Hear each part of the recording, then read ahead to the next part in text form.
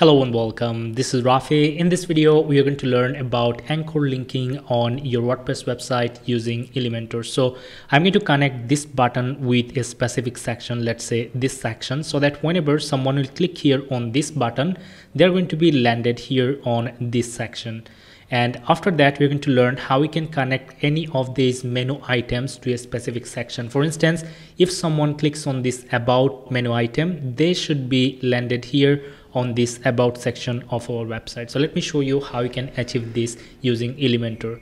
So to start the process, I'm going to click here on edit with Elementor option and it is going to open up the editor panel here.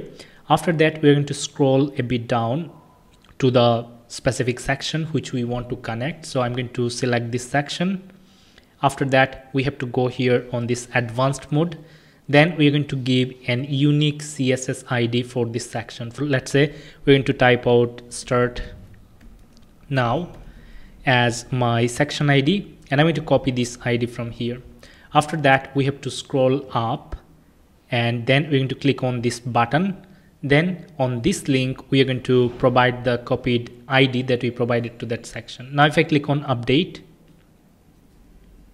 and if i preview this website in a new tab if I click here on get started just take a look. It is taking us to that specific selected section. So this is how you have to do anchor linking.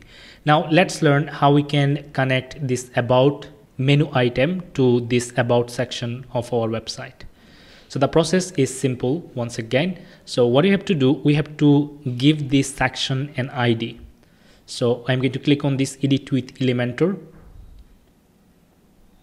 after that i'm going to scroll a bit down to this section and then I'm going to select the section. After that, I have to go here on advanced mode.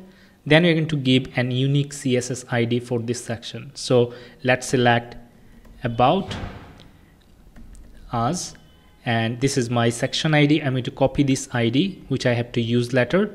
Now it's time to click on update.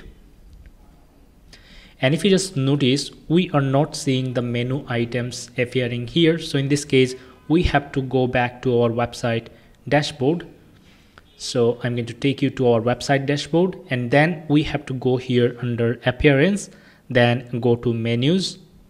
And here you are going to find your menu now I'm going to remove this about page from here. And I'm going to add a custom links. And I'm going to provide the URL here which is going to be about us or actually this was the ID and then I'm going to type out about then click on add to menu. And I'm going to place it where I want to place or keep this. Now let's click on save menu.